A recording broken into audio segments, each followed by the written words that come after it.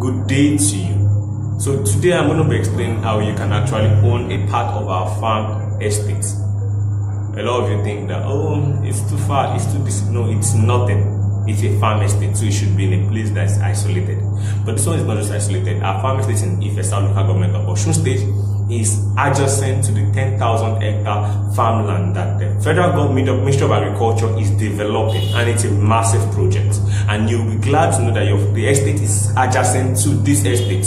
All the development coming the tractorization mechanization the influx of labor and the food food that will come out of that place it's a great place to have your farmland estate. And you're getting it for as cheap as 30,000 naira per plot if you're going for the plantain and if you're going for a cashew farm estate you'll be paying as low as 5,000 offer is only available to the end of May. And even if you could get it before 17th of May, you could actually buy five, six plots and then get one free, or six acres and get one free.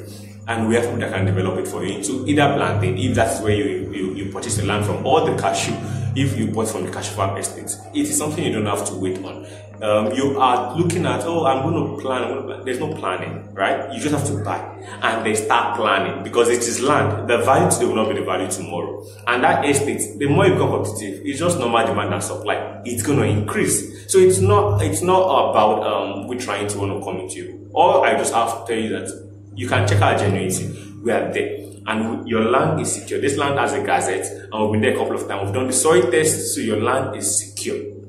And in the estate, it's going to be fenced before March 2022. Based on, of course, there's some money that comes in from the payment that going to be for the land 2022. There's going to be water supply in the estate that will ensure that farming is all year round. So it's a great investment. You should come on board it. I'm inviting specifically to come on board that investment. You're enjoying it and we'll be working alongside with you. Technologically inclined.